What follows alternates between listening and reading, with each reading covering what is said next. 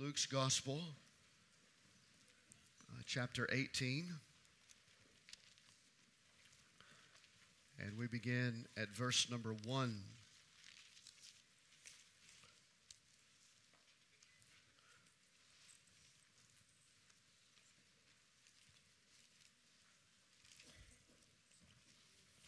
A brief prayer before we read the scripture together.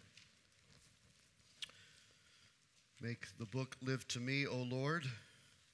Show me thyself within thy word. Show me myself and show me my Savior, and make the book live to me. Amen. Verse 1, Luke 18, and he told them a parable to the effect that they ought always to pray and not lose heart. He said, In a certain city there was a judge who neither feared God nor respected man. And there was a widow in that city who kept coming to him and saying, Give me justice against my adversary. For a while he refused. But afterward he said to himself, Though I neither fear God nor respect man, yet, because this widow keeps bothering me, I will give her justice so that she will not beat me down by her continual coming. And the Lord said, Hear what the unrighteous judge says. And will not God give justice to his elect who cry to him day and night? Will he delay long over them? I tell you, he will give justice to them speedily. Nevertheless, when the Son of Man comes, will he find faith on earth? He also told this parable to some who trusted in themselves that they were righteous and treated others with contempt. Two men went up into the temple to pray, one a Pharisee and the other a tax collector. The Pharisee, standing by himself, prayed. God, I thank you that I am not like other men, extortioners, unjust, adulterers, or even like this tax collector. I fast twice a week, I give tithes of all that I get. But the tax collector, standing afar off, would not even lift up his eyes to heaven, but beat his breast, saying, God, be merciful to me, a sinner. I tell you, this man went down to his house justified rather than the other. For everyone who exalts himself will be humbled, but the one who humbles himself will be exalted. Now, they were bringing even infants to him that he might touch them. And when the disciples saw it, they rebuked them. But Jesus called them to him, saying, Let the children come to me, and do not hinder them, for to such belongs the kingdom of God. Truly, I say to you, whoever does not receive the kingdom of God like a child shall not enter it. Augustine, one of the early church leaders, said, Should you ask me what is the primary thing in religion, I should reply that the first, second, and third thing therein is humility. Richard Baxter, in his manifesto on pastoring, said it is a contradiction in terms to be a Christian and not humble. I want to say something extremely straightforward this morning. There is no relationship with God apart from humility. There is no relationship with God apart from humility. In fact, according to Jesus, in what many observe as the greatest sermon he ever preached, the Sermon on the Mount, He says in Matthew chapter 5 that the first fruit of a child of God is humility. Blessed are the poor in spirit. He's not talking about physical dynamic, a material absence of things. He's talking about a spiritual perspective, a, a humility. Blessed are the poor in spirit. Blessed are the humble. The kingdom of God belongs to them. On three distinct occasions in the Word of God, the scripture says in Proverbs, in James, in First Peter, that God opposes the proud. I you just think about those words for a moment. God opposes the proud, He's against them, He stands resistant toward them. He opposes those who are proud. He gives grace to those who are humble.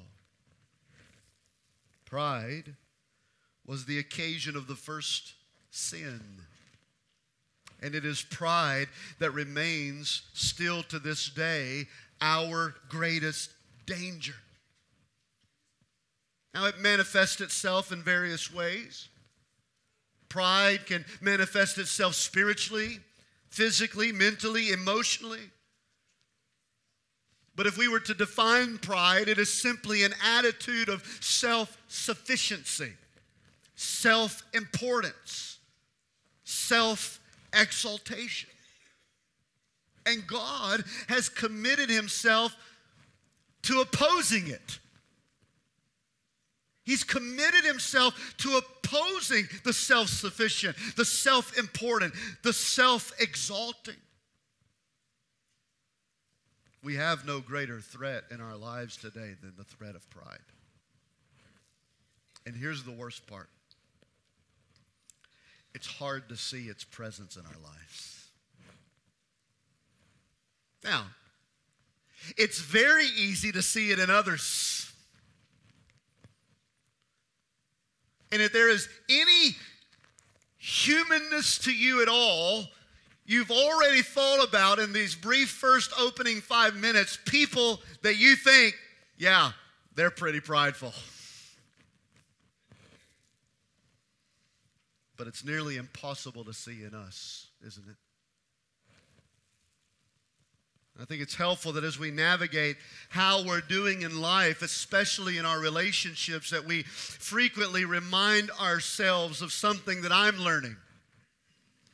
There is a me I cannot see. It's easy to see things in others and some things in us. But still, there is a me I cannot see. John Ortberg said it like this The one pair of eyes into which you can never gaze is your own. There are parts of yourself you will never see without outside help. Now, as a recovering perfectionist, that concept really bothers me because I want to see what you see. The reality is, however, there's some things about me that I don't see. And I'll never be able to see unless you help me see it. That's the point. There is a me I cannot see. It's so much easier to see the character flaws in others than it is in ourselves. For example, when you yell at your children, you have an anger problem. But when I yell at my children, it's because they're being disobedient. This is the truth, isn't it? The same things that we are guilty of that others are guilty of. We, we, we twist it around. Why do we do that? Because we have a natural bent towards self. We're not aware of our own blind spots. We think we're doing fine. And we give ourselves the benefit of the doubt over others. But there is a me I cannot see. So I need help. And thankfully, we have the work of the Holy Spirit to convict us. We have the loving input of our truest and closest companions to guide us. We have the cleansing power of God's word to heal and restore us. Now, we have to get this right, friends. Because if we miss on the subject of humility, we miss on the identity of Christianity. So, what Jesus does here is he shares three scenes here in Luke chapter 18 to remind us that God rejects the proud and he exalts the humble. Humility is not a take it or leave it proposition, it's the very premise of Christianity. And it may be that through God's word and the help of the Holy Spirit, we need help to see about ourselves this morning that humility is non existent. Well, let's look at three things as a header. First header is God hears the humble prayer. God hears the humble prayer. Now, I want to make another public confession, and that is this may bother some of you to hear this coming from the pulpit but I'm just going to be fully transparent. I've not known any other way to be in my life. Sometimes it gets me in trouble and I say too much. Maybe this is one of those times, but I just want to be real. Okay? I find it very hard to pray. I find it very hard to pray. The fallenness of my flesh makes prayer a battle that, frankly, it shouldn't be. And I believe, as we've already laid out, that pride is the reason why it is so hard. Pride can give us a false sense of security and independence as if we're managing everything okay on our own. I've often said that prayer is the greatest form of pride. Or, excuse me, prayerlessness is the greatest form of pride. Because neglecting prayer communicates that God is unnecessary. Whether it's in that particular moment in our life in general or in that season or storm, when we are not praying, it's as if we're saying, God, it's okay, I can handle this on my own. I don't need you right now. Now, we don't make time to pray because we have so many things to do. We're easily distracted, we get tired quickly, and there are times when we lack the faith to believe that prayer is actually making a difference especially when we have gone long periods of time without an answer to a particular prayer.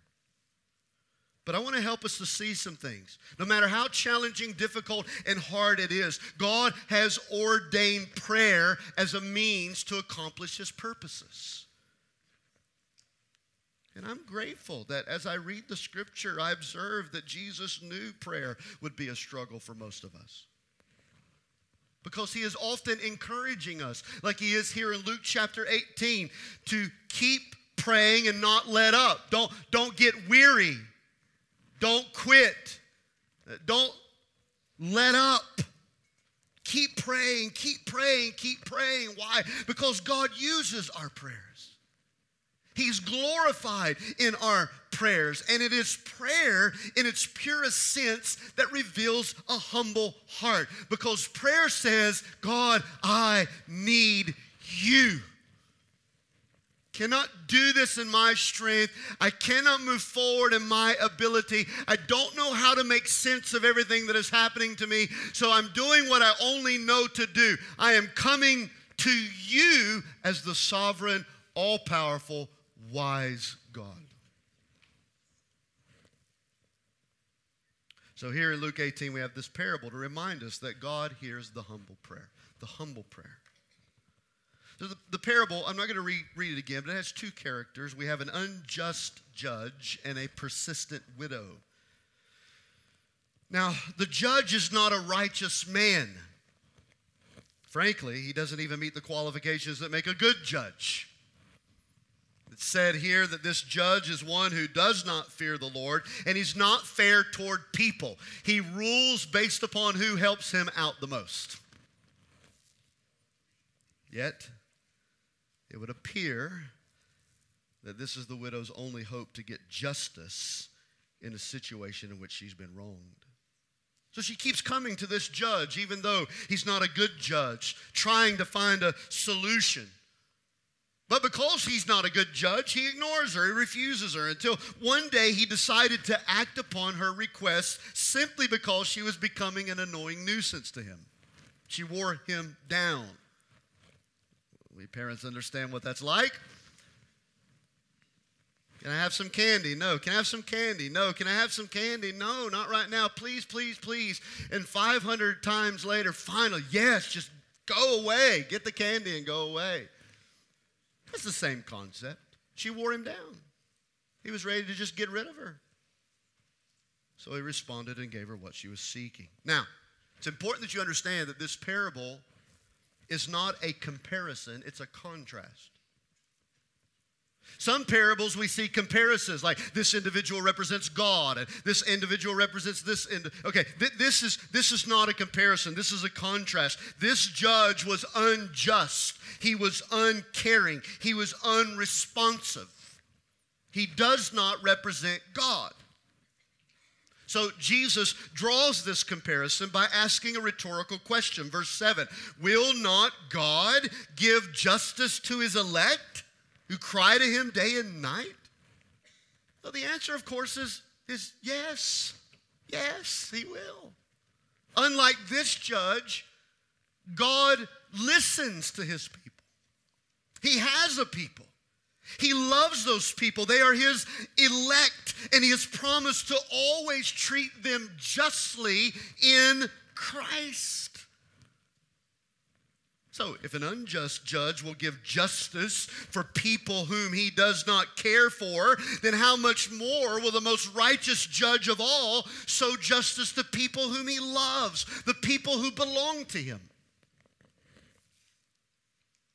I wrote down these three things as I was studying this this week, and perhaps you'd like to jot them down. I wrote down here that God is a just God. I can go to God in prayer because He is a just God. He always does what is right. Always. He has never made a single mistake. And He didn't start with you or your situation. He's a just God. That ought to give me courage and boldness as I approach Him, knowing that whatever God chooses, it is right. It is right. God is a just God. I wrote this down God is a loving God. You see, unlike the widow who had no name in this parable and was treated with contempt, God knows us by name. We are His elect. He loves us. He's never worn down by our coming to Him. No, He wants you to come to Him. He knows you. He loves you. He's bothered when you don't come to Him. What a loving God. But thirdly, God is a wise God. He's a wise God, especially in regard to His timing. Most of us have no qualms with the fact that God is just and God is love. We may struggle, however, with this part. God is wise. He knows better than me. He knows better than you. And he's perfectly wise as it relates to his timing. He will answer our prayers at exactly the time he knows they ought to be answered. And when he answers them, he will answer them in the wisest way. And he will answer them according to what brings him most glory. You see, this is what calls us to humbly persist in prayer. It's the acknowledgement of deep need that without Him I am nothing and I can do nothing. It's also the acknowledgement of a great God.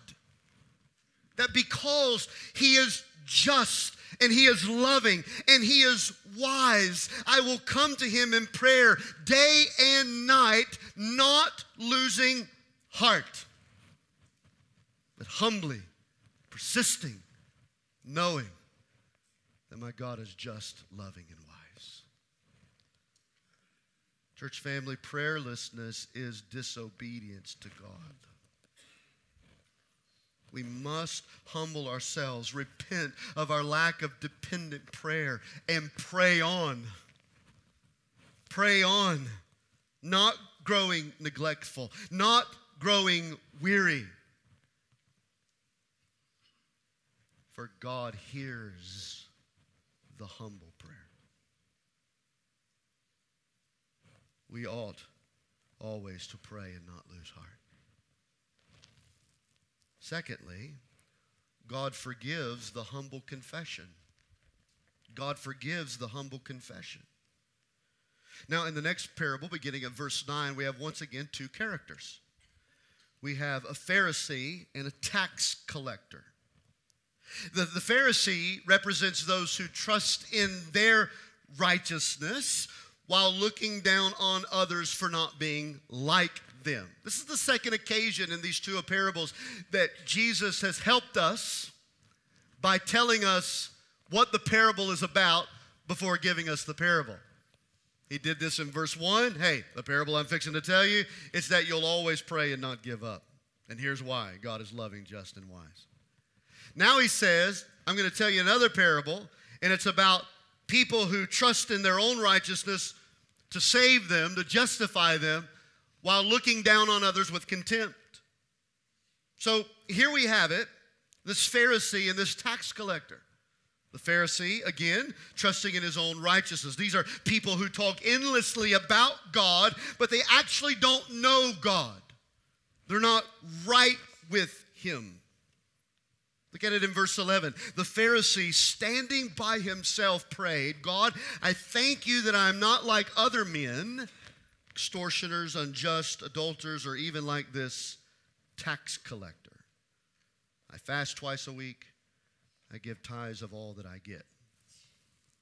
Now, notice he has a moral righteousness. I don't cheat on my boss, I don't cheat on my friends, and I don't cheat on my wife. That's what he's saying. He has a moral righteousness. He also has a religious righteousness. He says, I fast twice a week. A little bit of study will help us to see that the law only required one time a week. So the fact that he's saying, I fast twice a week, is he just wants it to be clear how dedicated he is to God. Uh, you may only go once a week, I go twice. And then he says, I tithe on everything. But ultimately, he believed that his moral righteousness and his religious ways of living made him right with God. And that's when he says, God, I thank you that I'm not like others. Now, let, let me just be very clear this morning. The problem is not this man's righteousness.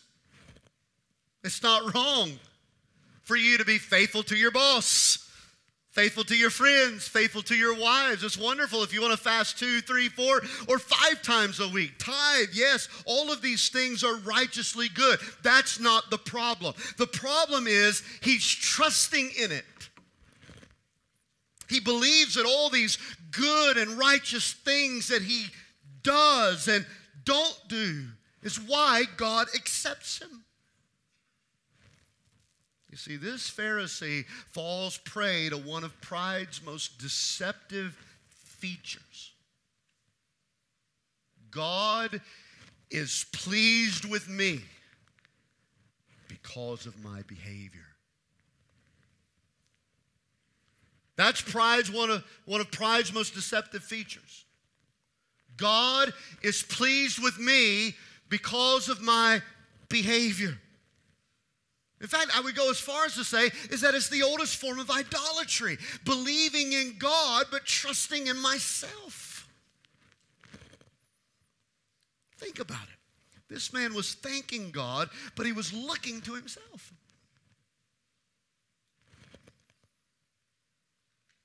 In two short sentences, he mentions himself five times. You can count them there and circle them. I, I, I, I, I. And of course, this self righteousness was absolutely filling him with pride. Instead of thinking of himself as a sinner, he thought of himself as superior. And that inevitably led to a decision, as often happens in our lives. When we stop viewing ourselves as sinners and start thinking of ourselves as superior to others, we distance ourselves from people who are not like us. Thank you, Lord, that I'm not like them.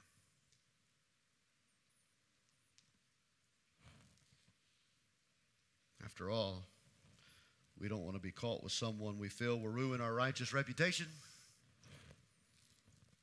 If they see me with him or her, they'll think I've compromised. Did you notice here in verse 11 that the Pharisee was standing by himself? And in verse 13, the tax collector was standing afar off? It's intentional. Jesus wants us to see this that this geographical posture it's put on the shoulders of the Pharisee. In other words, this was his decision. This was his decision. He didn't want to worship anywhere near the tax collector. Some would even suggest that he had positioned himself closer to the Holy of Holies. And the tax collector barely needed to be at the front door. That's not me, Lord. You know me. I'm faithful. I don't go here. I don't run around on her. I'm so thankful I'm not like that tax collector. Have you ever genuinely thought something like that from your heart? God, thank you that I'm not like my neighbor.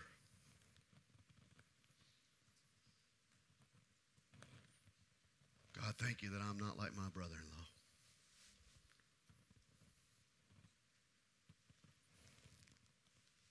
Now, make no mistake, tax collectors did have a bad reputation. There were Jewish people who were in cahoots with the Roman government to profit off of the abuses of the Jewish people. They were dishonest, cheating, manipulators. And the Jews considered them the worst of traitors. But Jesus had a heart for these guys. Matthew was a tax collector before Jesus called him to follow him. And somewhere along the way, this particular tax collector had his eyes opened to his sinfulness.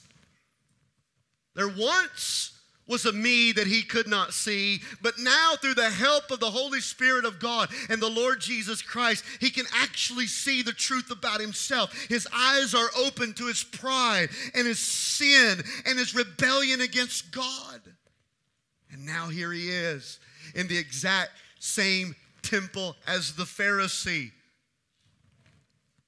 But his approach to God was much different. He considered himself unworthy to even lift up his eyes toward heaven. But in a display of repentance, he cried out in verse 13 God, be merciful to me, a sinner.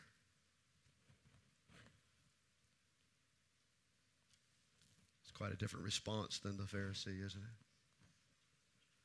The Pharisee who thought his good behavior would be enough for God to accept him with his head held high.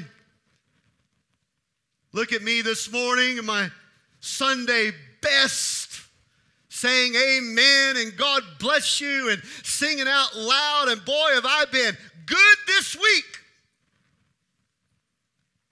Here comes a man who knows he's a sinner.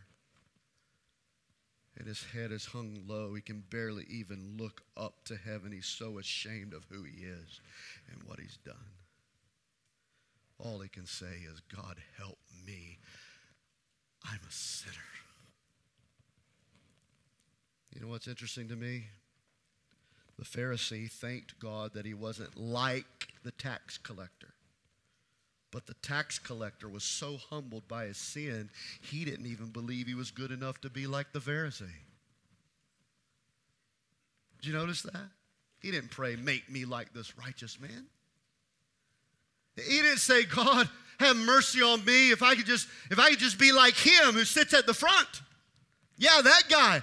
Make me like him, Lord. That's who I want to be. No, no, no, no. He simply prayed, please have mercy on me. I'm nothing more than an undeserving sinner. He knew how bad he truly was. He never once tried to excuse it. He never once tried to leverage his good qualities as if God might receive him with his good outweighing his bad. No, he knew he had violated the law of God. He was a sinner. How he was behaving, how he was thinking, how he was cheating and manipulating, and what he was doing. It was against God's perfect holiness. So he comes to the temple humbly confessing his sin, expressing repentance, beating his chest, and trusting God for mercy. And here's what Jesus had to say in verse 14 I tell you, this man, the tax collector, went down to his house justified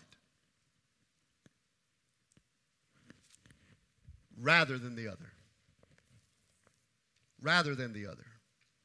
Again, it's another small detail to point out, but it's important that you see those last four words of verse 14 rather than the other. It doesn't stop with saying that the tax collector went down to his house justified, period. As if to suggest that he and the Pharisee are now on the same playing field. They're in the same righteous condition, that now, you know, the tax collector is justified like the Pharisee. No, he adds, rather than the other. He's emphasizing that these two men, of, or of these two men, only one of them was truly right with God only one of them was justified. Only one of them had his sins forgiven. It wasn't the self righteous Pharisee, it was the humble, sin confessing, God trusting tax collector. And what is it exactly that justifies a sinner? Justification is a very important legal term. It means God declaring me righteous. God declaring me righteous, right with God, accepted by Him. How do we get that status in life? How can we lay our head on our pillows at night knowing that we are right with God? I mean, truly right with God. Not just a few fleeting moments, but forever, regardless of how many times I mess up, regardless of my mistakes. How can I know the peace of God? I am justified. All my sins are forgiven. I am right with God. I am eternally reconciled to Him. Well, that's why Jesus came. Justification does not happen in your own merit. You cannot earn righteousness. You cannot earn righteousness. I'm glad you're coming to church. I'm glad that you want to be involved in the ministries. I'm, I'm thankful for all of that. Nothing of that's going to make you righteous. In fact, to do all of that without a true understanding of God, it may make you even more callous to Him.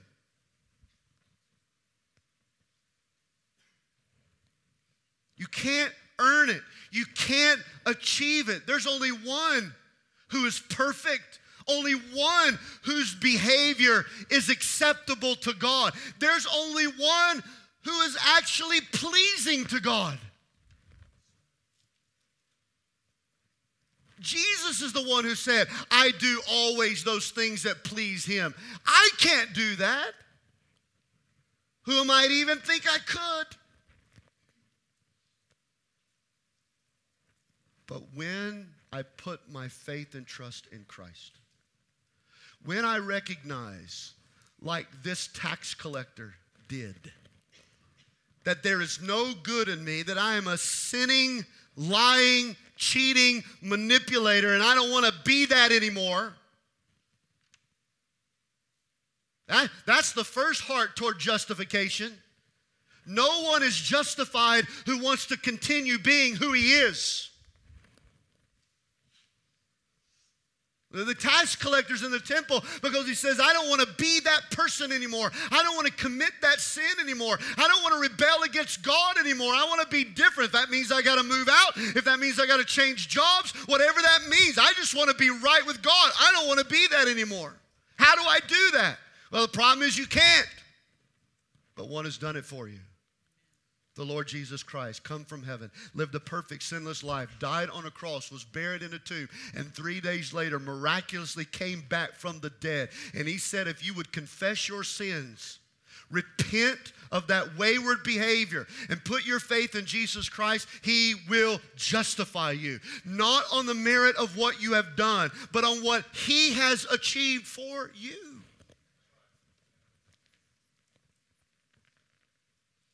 Pharisee walked into church that day saying, Look at me, I've been a pretty good boy this week. The tax collector probably had to drag himself in, didn't feel like he should even be there. And when he came, he made sure that he stood far away. He didn't deserve to look up to heaven. He was humble, confessing his sins, and God heard him. That's because God always hears and forgives the humble confession. Let me give you one more and we'll finish. Number three God requires a humble faith. God requires a humble faith. That brings us to the third and final scene, beginning at verse 15. It's not a parable like the previous two sections, but it's a powerful lesson nonetheless. It's such an important scene that it's recorded in three of the four gospel records. What we have here is that familiar notion of parents bringing their children to Jesus. It's a beautiful sight. I don't want to belabor this other than to point out the obvious. The greatest thing you will ever do for your children is to bring them to Jesus, to routinely give them the best opportunity possible to learn about Him, to know Him, to ultimately come to believe Him. All these extra things are wonderful. We do them for our children too. But more importantly than that is making sure that they're giving every opportunity possible to know God and to trust His gospel. And that will not happen unless you bring them to Jesus. Now, it's not a guarantee that if you do bring them to Jesus, they will trust Him. But it certainly puts them in a better spot than if you just left them at home to fend for themselves and to figure it out on their own. You, you, want to put them under the voice of the gospel, or do you want to put them in front of their social media and television and get them to try to teach them the things of God? Now, we have to, as parents, not let up on bringing our people to Jesus, routinely giving them the best opportunity to learn about Jesus. That's what they were doing. They were bringing their children to Jesus, they weren't sending their children to Jesus. They were bringing them. And for some reason, the disciples were rebuking them for doing so. We don't know why. There's really no explanation here. It may be that they were simply protecting Jesus' time and energy. But whatever the reason, we quickly see that it was a mistake. Verse 16, Jesus called them to him, saying, Let the children come to me and do not hinder them, for such belong the kingdom of God. Now, three simple observations. One, Jesus loves children. Jesus loves children. In fact, Philip Graham Ryken said, if we love Jesus, then we will love children too. If we love Jesus, we will love children too. And children will love us because they see in us the same love that attracted children to Jesus. Jesus loves children. A second observation is that children can be followers of Christ. That's what Jesus says here. For of such belong the kingdom of God. That is, children, even at their age where their mind is still developing, Jesus says they have enough. They've been given enough dispensation of grace that they can know me and believe in me and follow me. And then my third observation is simply this ministry to children is both an obligation and an opportunity. If we fail to do this, we're hindering our children from coming to the kingdom of God. And Jesus said, Don't hinder them. Don't hinder them. You have an obligation to bring children to Jesus, and it's a great opportunity in bringing them to Jesus. But here's the main application it's in the final verse, verse 17, and here's where we'll close. Jesus said, Truly I say to you, whoever does not receive the kingdom of God like a child will not enter it.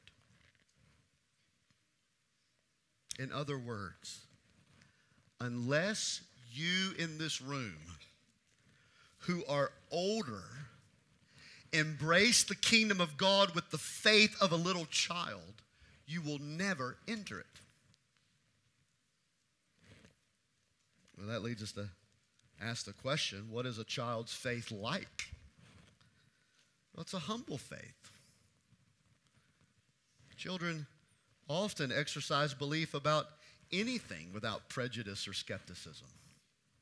And by the way, that's dangerous for you and me.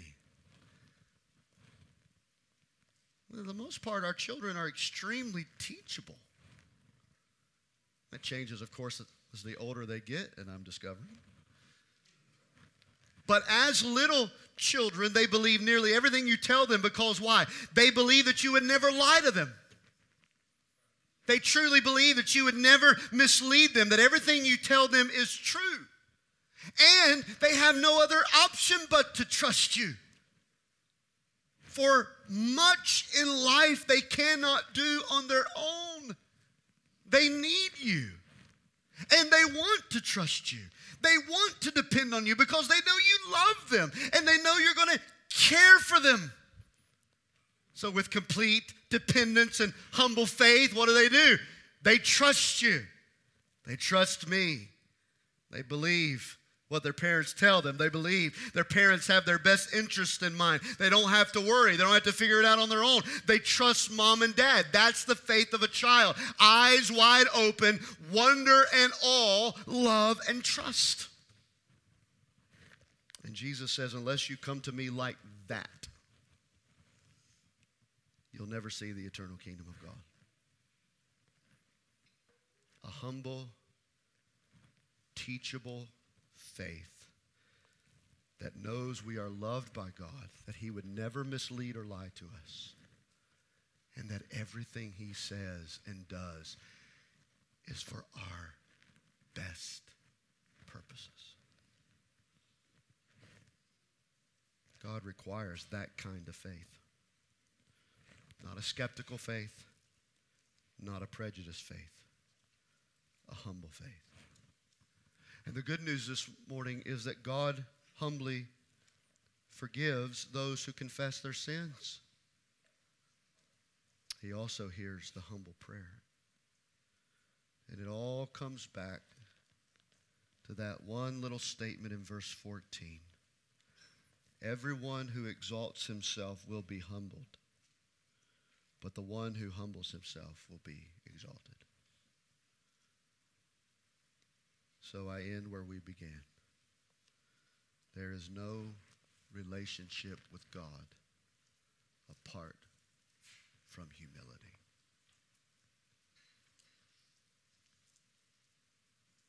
Let's bow our heads together.